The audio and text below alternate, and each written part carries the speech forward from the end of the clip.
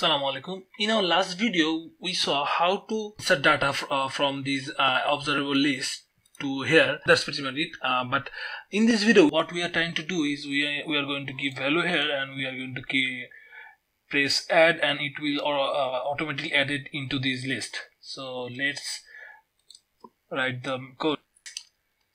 Let's create the UI first. Just opening this table. So click this table view and make it little smaller. I don't need it now. This must be let's give text field. Text field 1 text field 2 text field 3 and a button.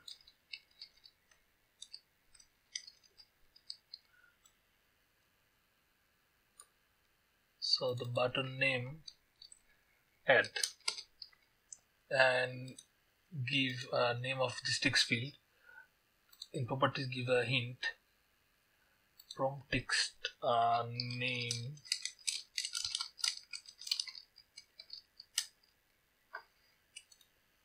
Price. This is just the holder value. This is quantity now you have to give the id of this. Give text field name. Price give text field price. And quantity give text field quantity.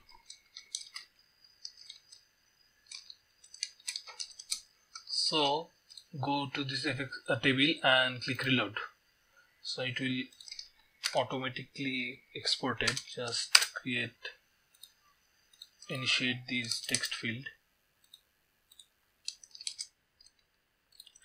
Well, I've, uh, I forget to add an on action here. So let's create the on action method. On action method give a name button add. So to save and reload and we have to initiate this too so let's run this and see what we actually built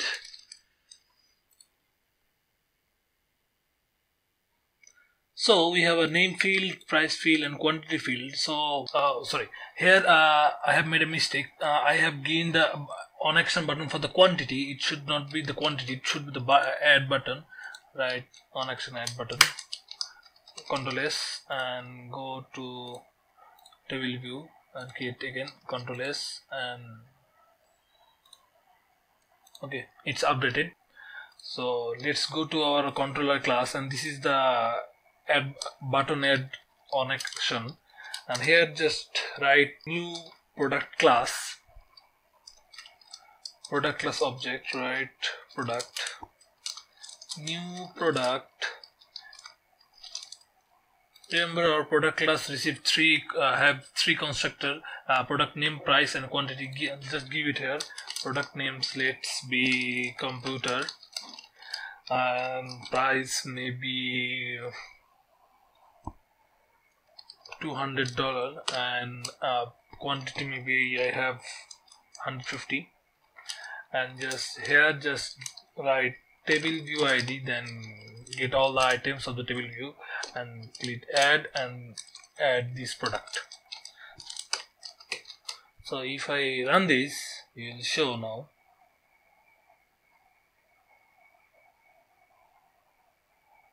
I have two value here and if I give anything I don't want to give it I'm, I'm just going to press add because here we have written a static value so just click the run add. So here you can see uh, the computer is added. But we want to write something here and we want to add this from by clicking this. So let's do this. So we cannot give static value here. We have to give text field name dot get text. Text field uh, second column is price if I give get, if I give get text you see it will give me error. Because remember our uh, product price is a double. So we need to parse it into double. To parse in double right double dot parse double. Direct packet. Then uh, we, we have to give an integer value to give an integer, integer right? Integer dot parse integer and text will text field quantity dot get text.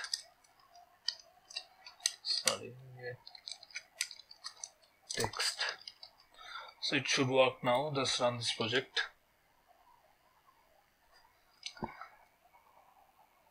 So let's give name computer price 12 quantity maybe something like that. Just click it so see this is updated in our table view. So thank you everyone. And if you want to know much more about our JavaFX tutorial uh, just subscribe my channel and uh, uh, I will keep uploading tutorial about JavaFX and its components. I also upload uh, tutorial about Android and other stuffs. So just uh, like share and subscribe to my channel. Thank you everyone again